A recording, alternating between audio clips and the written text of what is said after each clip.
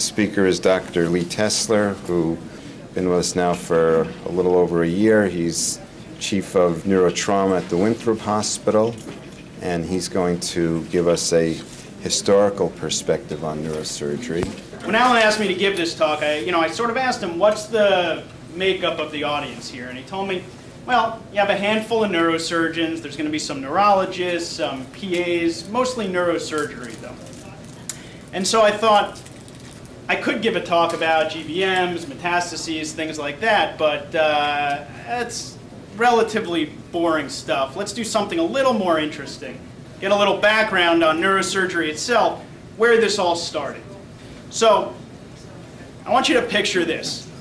You're an Incan warrior. It's 400 BC, and you find your enemy in the woods.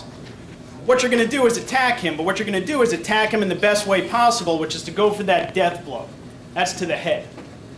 But what happens if you hit your enemy in the head? He's wounded, but he doesn't die. He's still awake and he has this massive head injury. Well, your tribe is going to take you, and they're going to take you back to the village.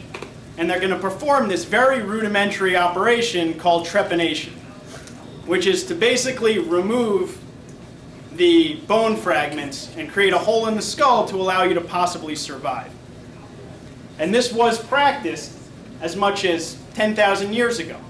Trepanation, which is something I'm going to talk about for the most part today, doesn't really imply brain surgery. What trepanation refers to is making a hole in the skull. And that hole in the skull could be made either for some therapeutic reason or some other reason, which we'll get into. It is thought to have occurred approximately 10,000 BC, although there really was no written record for uh, until the last 2,000 years or so. And specimens are actually found from all over the world, and it's still practiced in some African uh, tribal communities. So what we're going to go through is sort of this basic history. Although this has been going on for maybe 12,000 years or so, it wasn't really recognized by the current culture until around 200, 150, 200 years ago. And what was the motivation of these people? We know that sort of scientific enlightenment, the whole idea that the brain controls the body, that the brain controls movement, thinking, didn't really come about to very recently. So if people didn't know about this, why did they do this operation? The different techniques involved, and how the people did afterwards. So the first discovery was found in France in approximately 1685. It was found by a Benedictine monk named Bernard de Montfaucon, and he didn't really understand why that was done at that time. He found this skull with a hole in it, and they sort of assumed that this was due to trauma. The same thing happened in 1816. A second specimen was found, but again, they didn't really understand the significance of it, and only later did they come to realize that that's what they were dealing with. In 1839, there was a book entitled Crania Americana by this Samuel George Morton. Samuel George Morton is uh, one of the fathers of American ethnography. And essentially what that refers to is scientific racism, um, which is basically the idea that different cultures, different races have different body parts, different sized brains, and therefore different intellects. So when Samuel George Morton depicted this trepan skull in his book, he never once thought that this could have possibly been ancient surgery because he just felt that the savages of the ancient world didn't possess the intellect in order to be able to do this. And the real sort of excitement developed in the mid-1860s with Ephraim George Squier. He was appointed by uh, Abraham Lincoln, sent to Peru on sort of a peacekeeping mission to identify different international conflicts. But when he was done doing that, he traveled around Peru and came upon this very wealthy woman in the region of Cuzco, Peru. In her home, she had all these artifacts that she collected, one of which was from a cemetery in the Yucay Valley. And this is a picture, actually, of the skull that he had found. And it was very clear to Squier that he had found something indicating early surgery. So he took this skull back to New York, brought it to the New York Academy of Medicine, and said, you guys look at this, tell me what you think. He wasn't a doctor, so he said, you guys look this over. They basically looked at it and said, this does look like an operation had occurred, except they didn't really know, was this done after he died, was it done beforehand? And this whole idea of brain size and race and intelligence that, that Samuel George Foster was talking about was still going on. And most of the people there thought there's no way that these ancient people could have possibly done this in any deliberate fashion, that it must be after death. So what Squier did was he sent the skull to Paul Broca.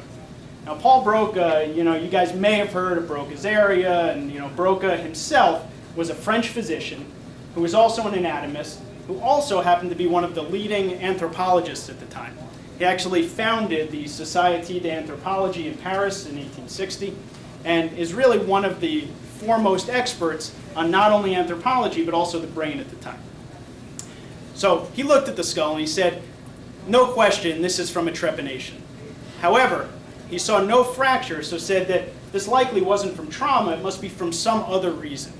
So he took this and said, I'm going to run with this, look at many different skulls, let's find all these different uh, uh, skulls to examine, and try to come up with a reason that this was done.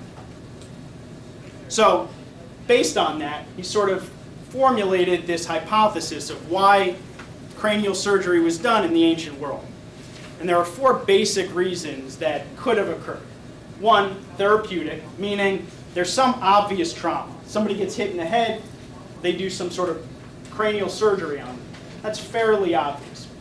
The second one, magico-therapeutic, is more an indirect way of looking at this skull and saying, you know, we see this person and maybe they have a seizure. But we don't understand that seizures come from the brain, so we're going to let the evil demons out of the brain by putting a hole in it. And this was actually, as we'll see, a, common thought at the time. Other things, such as magical ritual, meaning it was part of some sort of ceremony, and that's why they did it, having no medical value whatsoever. Or post-mortem, as we saw that debate, maybe they just cut holes in people's heads after they died, and that was the indication for it. So that theory, after Broca looked at this, he decided that trepanation was performed almost exclusively on infants and that the people who survived, they thought that they possessed some mystical properties and he was going to go about to prove this. So in his observations of looking at all these skulls, he saw no male or female difference, saw no side preference, and we'll talk about a little bit why that's important later, no wounds on the face, and he did see some survival after this very primitive surgery. He based most of this on this skull that was found by Prunières. In this skull, it's very interesting. You can see there are essentially three areas, one here, one here, and one here, um, of different types of holes made. And you can see the sagittal suture is sort of displaced over towards this area of trepanation. Because of this, he surmised that this hole must have been made when the child was very young and allowed the skull to grow in that direction. A second thing that he noted is that these sutures, the coronal and lambdoid sutures, were closed. So this child likely grew into adulthood. And the third thing he noticed was that these areas were not healed. And so these areas must have been taken out of the skull after the person died. And this amulet was actually found within the skull. And the pieces that make up this amulet did not come from this skull, so he thought maybe there was some magical property associated with this that caused people to take pieces of skull and use them as amulets or, or some sort of ritualistic purpose. So his conclusions, again, were that infants were operated, there were no fractures that he found, and he didn't think that the early man had any knowledge of the brain or any of the brain function. So he concluded that trepanation was probably performed for infantile seizures.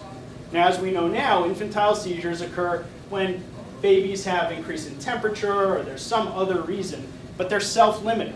And so if you have a child with a seizure and you think that you need to drill a hole in their head to cure it, and you do that, and then they don't have another seizure, well then obviously your drilling worked. And it's not exactly what we know now. We know that these are self-limiting and they would have gone away anyway. But he proposed that that's why this idea of trepanation was sort of carried on. Then came Victor Horsley, who was a little bit later, but a contemporary of Broca, who said, I don't agree with that. I think that it was probably due to some form of trauma, and uh, Horsley himself was one of the fathers of epilepsy surgery. He operated on John Hughlings Jackson's patients who uh, sort of came up with the idea of Jacksonian seizures, where he would remove part of the skull, take a scar away from the brain, and cure seizures. And so when he looked at these skulls, he actually took one skull and drew all the trepanation sites on it and said, it's very obvious to me that every hole that's made is over the motor cortex. Therefore, this must have been done to prevent motor seizures.